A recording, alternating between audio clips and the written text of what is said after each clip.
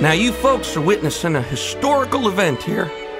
I'm gonna be the kind of guy that, that Ginger deserves. There's gonna be no more smoking, drinking, gambling, and I ain't hanging out my friends so much anymore. And most of all, there ain't gonna be any more women. Why, there ain't a woman in the world that can make me turn my head. Of all the gin joints in all the towns in all the world, she walks into mine.